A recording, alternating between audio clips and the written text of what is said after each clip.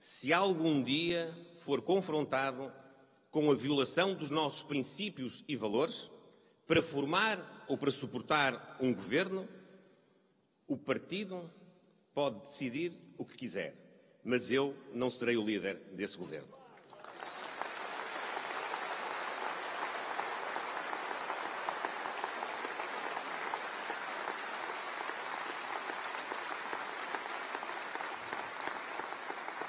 E vamos falar claro quando é que nós no PSD nos associamos a partidos anti-NATO, ou anti-União Europeia, ou anti-Euro, ou anti-instituições particulares de solidariedade social, ou anti-misericórdias, ou anti-setor privado da saúde, ou mais flagrante ainda, partidos pró-russos no contexto da guerra da Ucrânia. Nós nunca fizemos isto.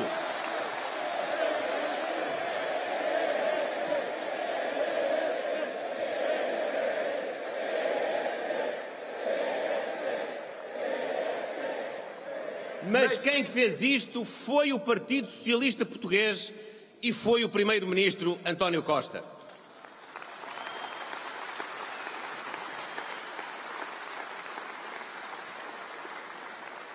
Portanto, eu quero aqui dizer aos portugueses solenemente: tudo farei e faremos para dar um novo governo a Portugal. Tudo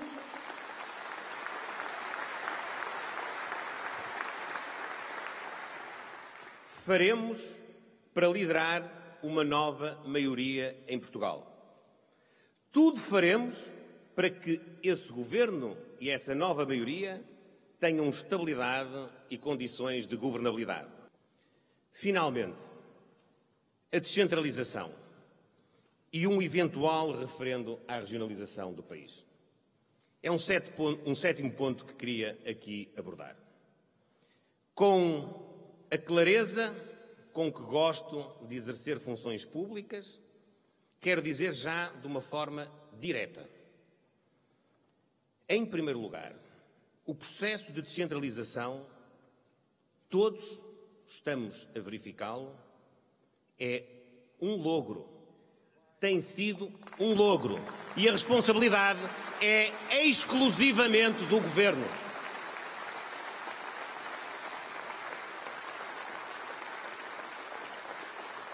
Como ainda ontem aqui disse e explicou com uma impactante simplicidade o nosso Presidente da Câmara Municipal de Lisboa, Carlos Moedas, os municípios não são os tarefeiros da incompetência e da incapacidade da Administração Central.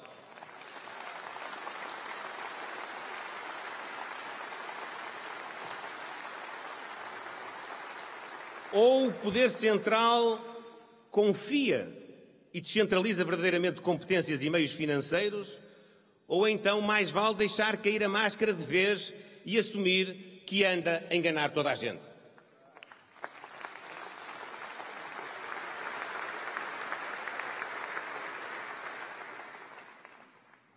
Quanto a um eventual referendo sobre a regionalização que o Governo prometeu para 2024, Considero também aqui que temos de dizer a verdade sem tibiezas e a dizer a verdade sem tibiezas é que fazer esse referendo em 2024 não é adequado.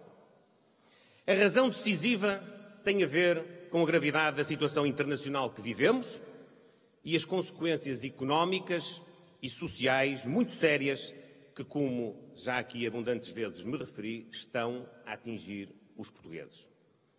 Fazer um referendo neste quadro crítico e delicado seria, do meu ponto de vista, uma irresponsabilidade, uma precipitação e um erro. Os portugueses não compreenderiam. Tínhamos as noções das prioridades. Em 24 de fevereiro, não foi só o mundo que mudou. Mudou também a hierarquia das nossas prioridades, das nossas ambições e das nossas responsabilidades. Convém ter os pés bem assentes na terra e falar a verdade ao país.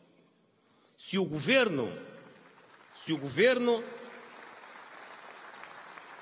compreender o bom senso desta posição, tanto melhor. Se o Governo pensar de modo diferente, tem todo o direito de avançar. Só que nesse caso, quero aqui dizê-lo, avançará sozinho para a iniciativa de convocar um referendo em 2024. Tem uma maioria absoluta, pode fazê-lo. O que não vai ter é a cobertura e o aval do PSD.